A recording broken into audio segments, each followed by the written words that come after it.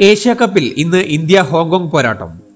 നിലവിലെ ഫോം വെച്ച് റിസൾട്ട് ഇപ്പോൾ തന്നെ വേണമെങ്കിൽ പ്രവചിക്കാം. ആദ്യമായാണ് ടി ട്വന്റി ഐയിൽ ഇന്ത്യയും ഹോങ്കോങ്ങും ഏറ്റുമുട്ടുന്നത്. ഓഡിയയിൽ കളിച്ച രണ്ടിലും ഇന്ത്യയ്ക്ക് തന്നെയായിരുന്നു വിജയം. പാകിസ്ഥാനെതിരായ വിജയത്തിന്റെ ആഘോഷം ഇപ്പോഴും തീർന്നിട്ടില്ല. സമ്മർദ്ദഘട്ടത്തെ അതിജീവിച്ച് നേടിയ ജയത്തിന് ഏറെ പ്രാധാന്യമുണ്ട്.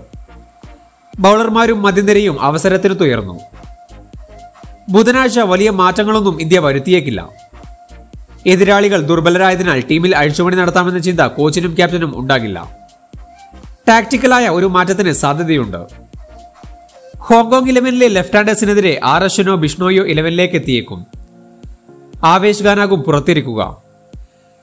തേർഡ് പേസറാകാൻ മാത്രമല്ല പേസ് പടയെ നയിക്കാൻ വരെ താൻ പ്രാപ്തനാണെന്ന് ഹാർദിക് തെളിയിച്ചു. അത് കോമ്പിനേഷനിൽ രോഹിത്തിന് ഏറെ ഗുണം ചെയ്യും. സൂപ്പർ ഫോർ ഇന്ത്യ ഉറപ്പിച്ചു കഴിഞ്ഞു. ഇന്ന് ജയിച്ചാൽ ഗ്രൂപ്പ് ചാമ്പ്യന്മാരാകും. പാകിസ്ഥാനെതിരായ മാച്ചിനു ശേഷം മിക്ക താരങ്ങളും ചൊവ്വാഴ്ച പരിശീലനം തുടർന്നു.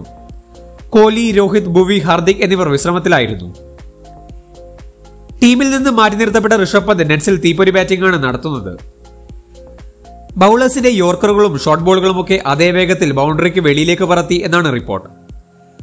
പന്തിനെയും ഹൂഡയെയും ഉൾക്കൊള്ളിച്ച് ഇലവനിൽ പരീക്ഷണത്തിന് ഇന്ത്യ മുതിരുമോ എന്ന ചോദ്യം നിലനിൽക്കുന്നുണ്ട്. ഫോമിലേക്ക് തിരികെ എത്തുവാൻ കെ എൽ രാഹുലിന് സുവർണാവസരമാണ് ബുധനാഴ്ച. പാകിസ്ഥാനെതിരെ ആദ്യ മതിൽ താരം ബൗൾഡായിരുന്നു. പേസ് ബോളർമാർക്ക് കിട്ടുന്ന ആനുകൂല്യം തുടരും. എങ്കിലും ഇന്ത്യ ടോസ് നേടിയാൽ ആദ്യം ബാറ്റ് ചെയ്തേക്കും. കാരണം സൂപ്പർ ഫോറിന് മുൻപ് ആ ഒരു പരീക്ഷണം നടത്താൻ ഏറ്റവും പറ്റിയ എതിരാളികളാണ് മറുഭാഗത്ത്. ഹോങ്കോങ് ഒരു ഫൈറ്റ് നടത്തുമെന്ന് കരുതാം.